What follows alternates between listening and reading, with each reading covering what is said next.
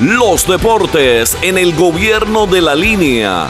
Los Leones del Escogido terminaron su larga sequía sin anotar al vencer anoche a las Estrellas Orientales. Jordan Norberto maniobró con suma calidad desde el montículo y Rafael Dever batió dos imparables para que los Leones del Escogido derrotaran 3 a 1 a las Estrellas Orientales. Deportes. Los gigantes le ganaron a los Tigres del Licey 6 a 5. Adrian Salcedo lanzó seis sólidas entradas y Matt Joyce disparó jonrón para que los gigantes del Cibao vencieran 6 a 5 a los Tigres del Licey en San Francisco de Macorís.